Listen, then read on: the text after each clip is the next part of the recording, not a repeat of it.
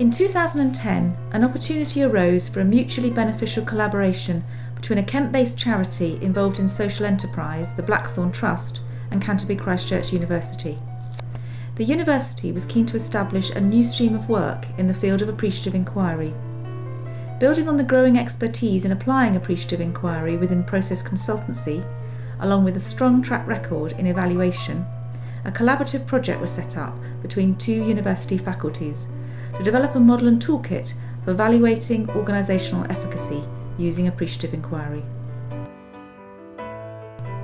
In essence, appreciative inquiry is all about seeking out what gives an organisation its energy when it is most capable and effective. It is a strength based approach to organisation development and works on the basis that in every situation something works, providing the base to build from.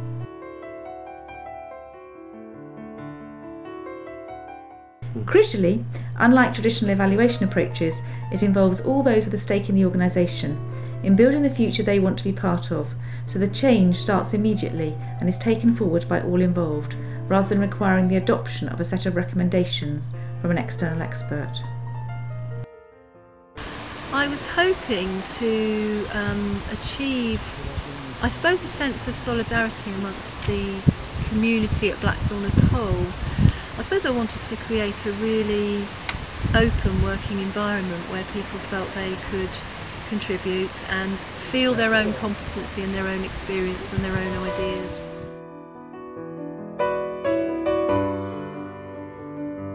Originally, I became involved because my mum was a patient here, mm-hmm. and then more recently, my sister was a patient here, and uh, they received a huge amount of help and. Uh, huge amount of help in terms of recovering from quite serious illnesses, both mm-hmm. of them. And that's how I got interested in what happens here at Blackthorn. Mm-hmm. I was in the Sevenoaks neurological unit, re- rehabilitation unit, and I had a good occupational therapist. I couldn't walk or nothing, you know. Of course, my OT said, I'm going to get you in Blackthorn, and it's done wonders. I can walk on my own now. all the people, doctors, and therapists, everything really. There's nothing more anyone that's disabled can wish for. Most of the communities like Blackthorn have a bakery and um, there's always there's always pressure. Bread is always needed. People always need something first thing in the morning right through till we we close in the afternoon and it's it's very central and it's um, it's a calming element as well because we don't rush the bread making. It's quite a slow process. Well, we make artisan um, breads by, by hand. We make the initial mix uh, with a machine, but then every individual loaf is mixed by hand. And we try to make something different and real. There's no additives. It's all organic flour. There's no flour improvers. It's bread how bread should be made. I love it actually. I love it because everyone's different. Everyone makes different bread. The the the speed that they need it, or the temperature of their hands, or um, how how strong they are with the with the dough, mm-hmm. it makes such a difference. So it's interesting. The person comes out in the loaf. And I really wanted to change my life and do something that involved what I love, which is food, and this was the perfect place to do something that was meaningful, helping people to re-engage with life, people who have had very difficult paths, and to help them with bread, gardening, food. I mean, what more could you ask for? It's just a, it's a wonderful place to work. It really is. Um, I chose to come to Blackthorn here because uh, um, I really wanted to give something back. You know, uh, my key worker told me about Blackthorn, and uh, it was something that really struck me. I just thought this was a calling here, so I came here. I had an interview. I was um, given an opportunity to come and work here.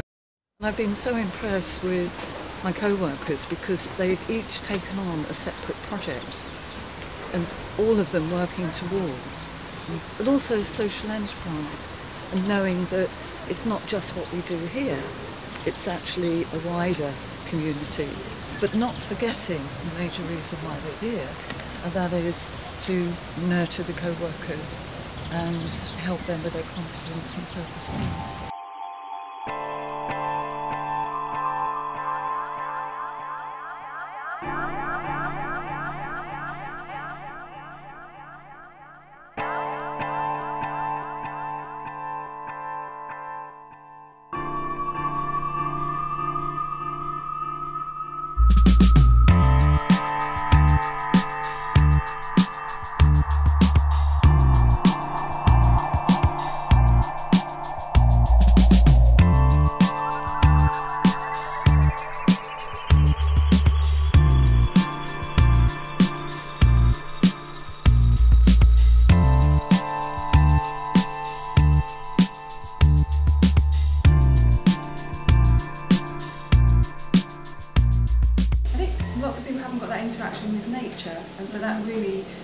Is a, powerful healing tool to actually work with the rhythm of the seasons, which again in our culture lots of people have lost, and also to be growing with. I'm growing the, the vegetables and the herbs, so we're growing the vegetables and then we'll harvest them, and take them to the kitchen, and then we'll be eating them at lunchtime. So that mm. is fantastic to have that real connection with your own sort of food production.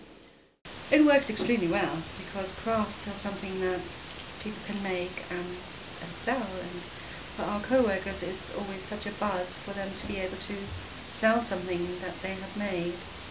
Um, and people often make things and then are really surprised how beautiful something looks at the end or that they have made it.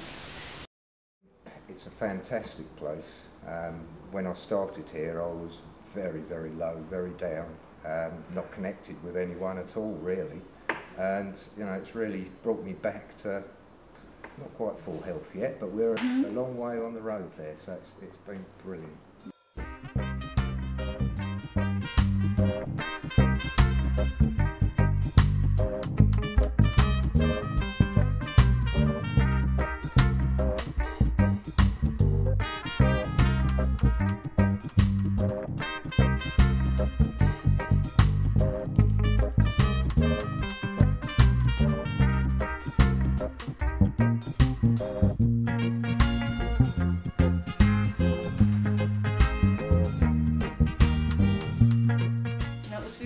That these questions were asked because we ourselves don't always when you're right in it. So, so um, I thought the process was really good.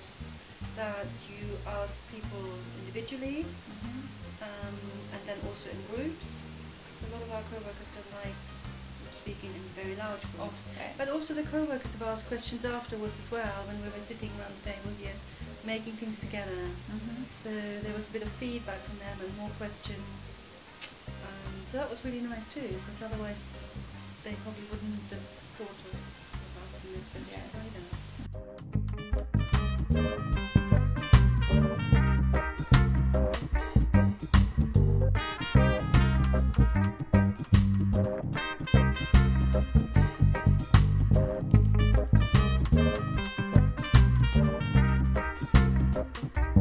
I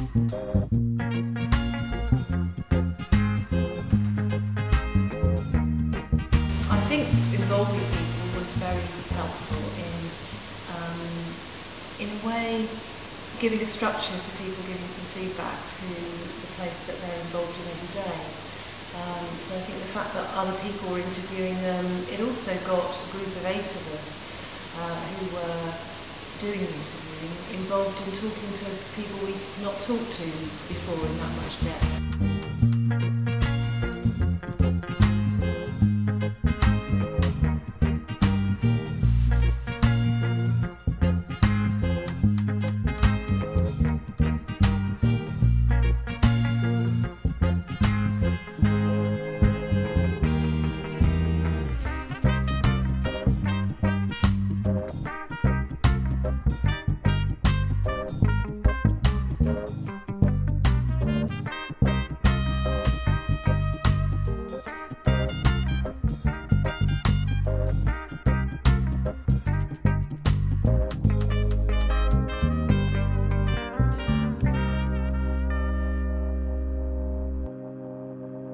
Time you're in the box.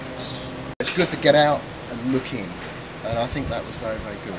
Yeah, undoubtedly, lots of questions, what was going on, people want to move forward, you know, with the whole organisation and progress. I thought the summit was quite moving actually. I mean, there were some um, people who spoke at it really from the heart, people who've had very you know, severe problems. I took a bit of courage, but uh, yeah, I finally went out and stood at the front and give a, uh, my, my testimony of my life and uh, how I reached Blackthorn here today. And um, it was about really the summit was about you know progress and moving on, Blackthorn moving on. The summit was very enjoyable. It was really um, quite exciting because lots and lots of different aspects were coming all together. I mean, when you're busy working, you're so kind of just in there, and you don't often take a step back and ask these questions. So that was that was really good. I was particularly interested in what's known as Blackthorn 2, which is the, the move on from, if you like, where we are, where we are now, where it's more therapeutic, um, to becoming more of a working environment so that we can move people on to that next stage um, and get them more involved in, in the community and, and more set up really for going back doing a part-time or full-time job.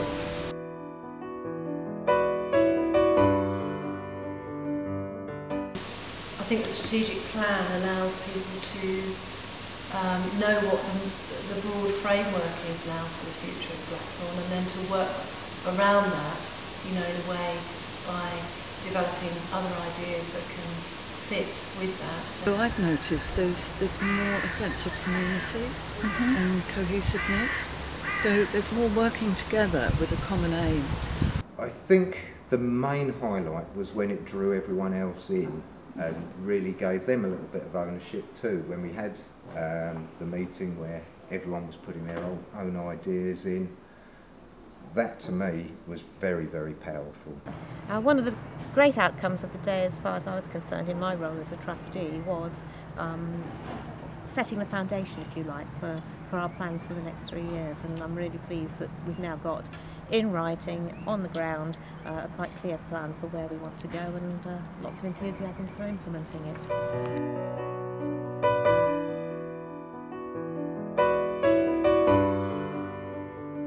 strikes me about this project, Sonia, is just what a privilege it's been to work in and alongside this amazing organisation that does such great work out there in the community and really makes a difference to people's lives.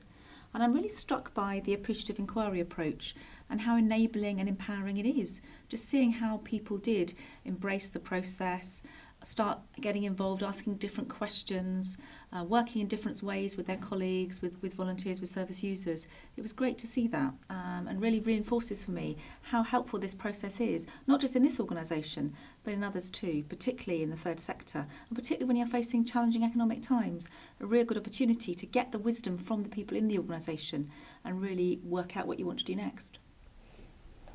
people from different parts of the organization, um, either volunteers, service users, or management, embraced this project and felt more empowered to do something about their organization.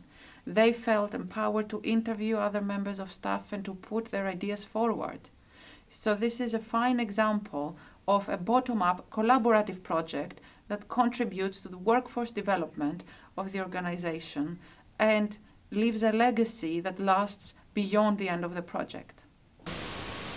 Put some solid ground under our feet in terms of our thinking. We've got a, a, a sort of joint hymn sheet, if you like, across the organisation. We know where we're going, what we need to do.